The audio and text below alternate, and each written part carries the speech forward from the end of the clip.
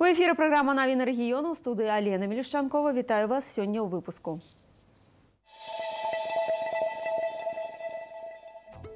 Абласныя зажынкі плануюць правесці ў асіпоіцкім раёне. Апошняя праверка сем сучасных рэнтген-апаратаў рыхтуюцца да работы ў медустановах вобласці. Больш за 17 тысяч магілёўскіх школьнікаў атрымаюць дзяржаўную дапамогу да новага навучальнага года.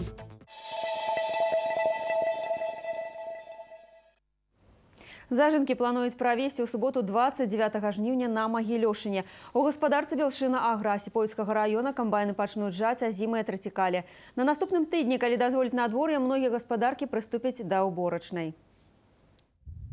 У магілёўскай вобласці падчас сёлетняга жніва неабходна ўбраць больш за 344 тысячы гектараў збожавых і зернебабовых.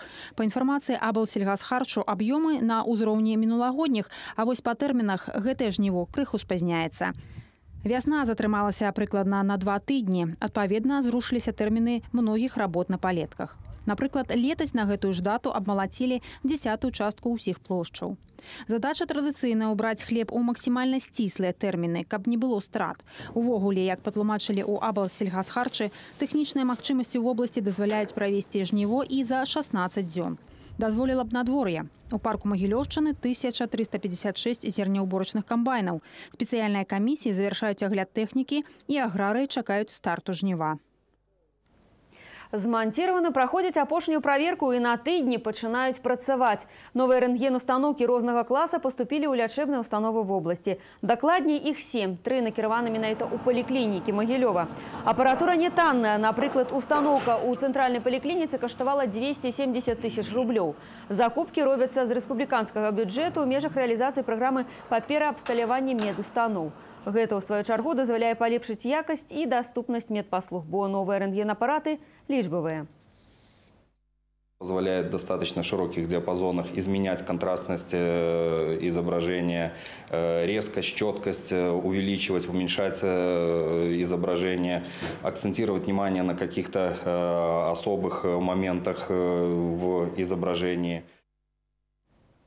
Апошнія дні выдаліся даволі спякотнымі. У сувязі з гэтым колькасць адпачываючых на пляжах значна павялічваецца. Асабліва ўвечары, калі людзі вяртаюцца пасля спякотнага працоўнага дня. Напрыклад, на пячэрскім возеры ў раніцу збіраюцца каля двух-трох соцен магіляўчан. То ўжо да вечара там адпачываюць больш за паўтары тысячы. Як адзначаюць у магілёўскім таварыстве выратавання на вадзе, тэмпература вады ў вадаёмах магілёшыны зараз складае прыблізна да плюс 19 градусаў. Гэта норма для пачатку купальнага сезону, адзначаюць выратавальнікі. Для сярэдзіны ж лета гэта халаднавата. Між тым, многія людзі купаюцца, заходзяць у ваду нават з маленькімі дзецьмі. Выратавальнікі нагадваюць, што нельга забывацца пра элементарныя меры перасцярогі. У ваду неабходна заходзіць паступова, каб не наступіла рэзкага перахалоджання. З асцярожнасці трэба падыходзіць і да выбару месца адпачынку каля воды. Лепш за ўсё, калі гэта афіцыйныя пляжы, дзе абследуецца дно, дзе бяспечны ўваход у ваду, дзе нясуць дзяжурства выратавальнікі. Месца, якое пастаянна кантралююць санітарныя службы. Дарэчы, нагадаем, што да гэтага моманту на Магілёшыне застаюцца закрытымі для адпачынку на вадзе тры пляжы вобласці. У раёне Палыкавічу, Вільшыцы і так званага святога возера. Па даследаваннях санітарных службаў гэтыя месцы пакуль яшчэ непрыдатныя не толькі для купання, але і ўвогуле для адпачынку.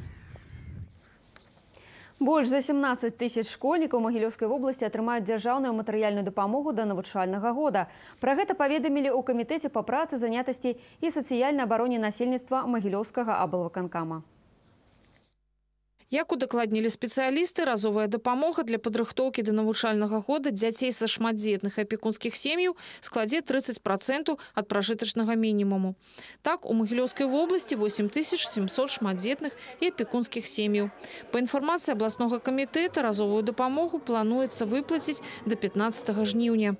Між тым на Магілёўшыне традыцыйна будуць ладзіцца і дабрачынныя акцыі, падчас якіх кожны неабыякавы зможа паўдзельнічаць у зборы канцелярскіх канцелярскіх прылад, школьнага адзення і абутку для дзяцей і падлеткаў з малазабяспечаных сямей. Напрыклад, такую дабрачынную кампанію актывісты беларускага рэспубліканскага саюза моладзі распачынаюць 1 жніўня. Увесь месяц яны будуць прапанаваць пакупнікам гандлёвых цэнтраў в обласці паўдзельнічаць у акцыі у школу з добрым сэрцам. Фэст турыстычнага сямейнага адпачынку вялікая бартрыбалка возьме свой афіцыйны пачатак 28 ліпеня і працягнецца тры дні. Месца для мерапрыемства абрана традыцыйнае бераг чыгірынскага вадасховішча ў быхаўскім раёне.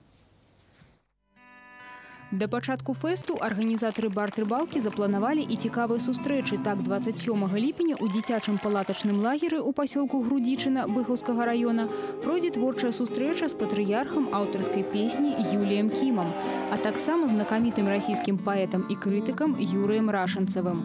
Нагадаем, сёлета ў музычна-спартыўным свяце плануюць паўдзельнічаць 10 краін: Беларусь, Расія, Украіна, Малдова, Ізраіль, Чэхія, Славакія, Літва, Польшча і Эстонія.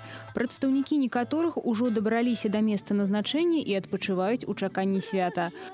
Што да планаў, тут 28 ліпеня апоўдні распачнецца аздараўленчае свята лазенькі. У дзве гадзіны дня запрацуе гастранамічны кірмаш, дзе можна пачаставаць нацыянальныя стравы краін удзельніц фэсту. Будзе ў гэты дзень і маштабная музычна-канцэртная праграма. Гэта і конкурс аўтарскай песні і канцэрт ізраільскага тэатру песні Мерхавім. Таксама перед гасцямі выступіць паэт і бард з віцебску Барыс Бляхман. Ну і, канешне, пройдзе ўрачыстая цырымонія адкрыцця фестывалю. У магілёўскім абласным драматычным тэатры прэм'ера спектакль жанчына мора па п'есе нарвежскага драматурга Генрыка Іпсена паставіў Саулюс Варнас, прэм'ера 27 і 28 ліпеня. Напярэдадні прэм'ерных паказаў у тэатры адбыўся генеральны прагон для прэсы, тэатралаў і крытыкаў. Як у Магілёве ўбачылі, прачыталі і паставілі Іпсена, прыехалі паглядзець нават са сталіцы. Самая главная мысль всех его пьес – это стремление к свободе и желание обрести свободу, вот она нашла воплощение в этом спектакле, который я посмотрела вчера и смотрю сегодня, и буду смотреть завтра. Я с удовольствием посмотрю три раза, потому что это необычный спектакль, и здесь э, режиссер очень много сделал от себя вместе с художником.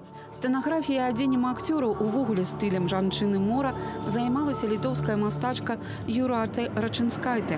На сцэне арыгінальныя дэкарацыі.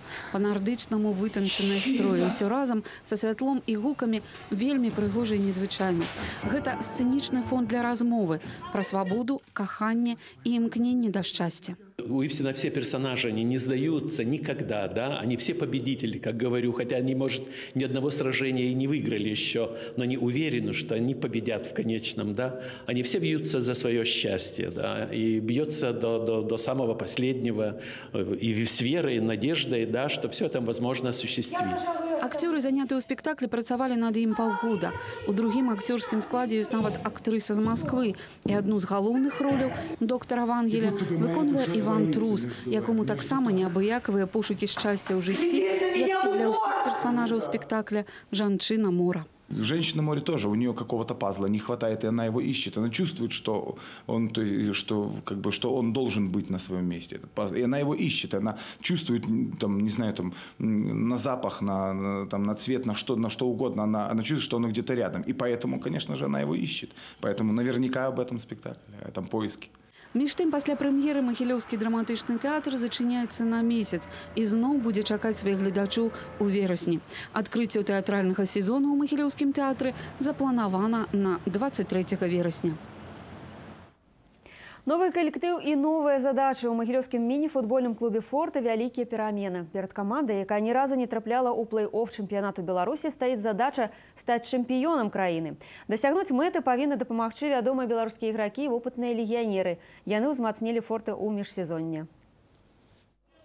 Падрыхтоўку да новага сезона наша каманда пачала ў сярэдзіне ліпеня. У пачатку тыдня магіляўчане адправіліся на збор у аграгарадок Александрыя, дзе трэніруюцца ў двухразовым рэжыме. З тых футбалістаў, хто пачынаў у форта мінулы чэмпіянат, засталося толькі два чалавекі.